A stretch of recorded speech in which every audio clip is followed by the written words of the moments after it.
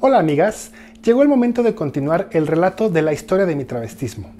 En el episodio pasado me quedé en la época en que iba en secundaria y mis papás trabajaban todo el día, dejándome sola en casa más o menos entre 5 o 6 horas diarias, tiempo que obviamente yo pasaba mayormente travestiéndome, aunque solo podía hacerlo con prendas del guardarropa de mi mamá.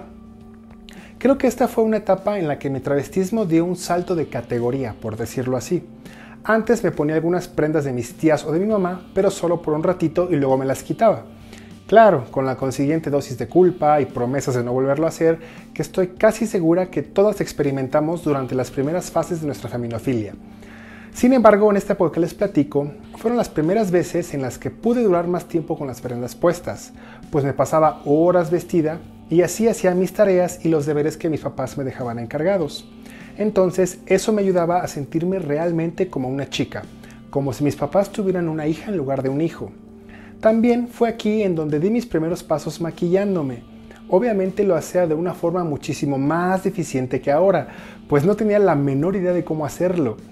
Las mujeres cisgénero tienen la ventaja de que sus mamás o sus hermanas o sus amigas les enseñen a maquillarse. Yo no tenía nadie que me dijera lo que tenía que hacer y todavía no contaba con internet en casa. Aunque de todos modos creo que si lo hubiera tenido, quizás no hubiera servido de mucho, pues en ese tiempo páginas como YouTube, que están llenas de tutoriales, eran impensables. Mi mamá nunca ha sido alguien que se maquille demasiado, así que su kit era también muy limitado. Solo había rímel, un par de paletas pequeñas de sombras y dos o tres labiales, pero con eso tenía yo para entretenerme.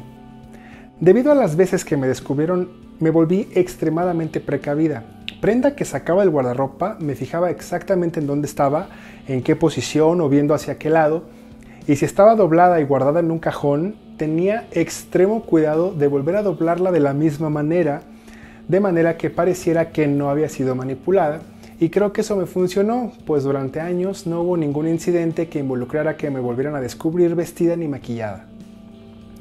Fue también durante este tiempo en que mi mamá comenzó a, vender lencería de ilusión por catálogo y entonces en la casa solía haber una gran variedad de brasieres, fondos, baby dolls, panties, camisones y cosas de ese estilo. Situación que pues a mí me cayó como una bendición porque me dio acceso a prendas más allá de las que utilizaba mi mamá. Naturalmente era súper cuidadosa de no desprender las etiquetas o de no manchar las prendas cuando me las ponía. Y también recuerdo que disfrutaba mucho cuando mis papás me pedían que los acompañara a la tienda a comprar las cosas que les habían encargado ya que ahí había una variedad todavía más grande de prendas que yo guardaba en mi mente y luego utilizaba valiéndome tan solo de mi imaginación. Poco tiempo después sucedió lo que marcaría mi vida y le daría una dirección completamente distinta, el Internet. De la mano de Telmex, mi papá trajo a la casa nuestra primera computadora. Todavía la recuerdo.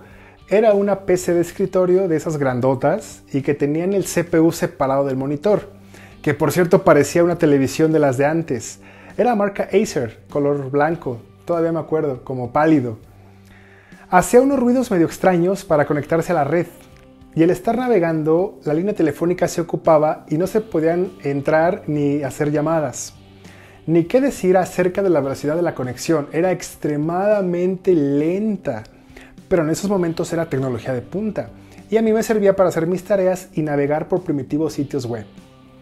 En una ocasión en la que estaba yo ahí entretenida frente a la computadora, también sola en la casa y ataviada con prendas de mi mamá, se me ocurrió teclear en Altavista, que era un buscador anterior al área de Google, me gusta vestirme de mujer.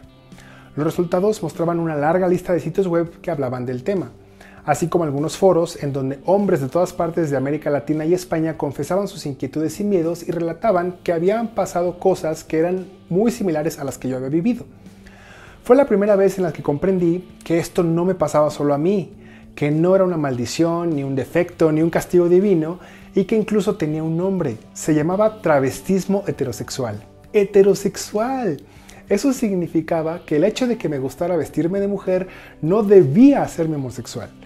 Para mí esto fue una enorme revelación y algo que me quitó un gran, gran peso de encima. Pero de esto les platicaré en el episodio número 7. Estén pendientes y mil gracias si llegaron hasta aquí chicas. Déjenme sus comentarios y compartan este video si les gustó. Soy Nadia, les mando un beso. Adiós.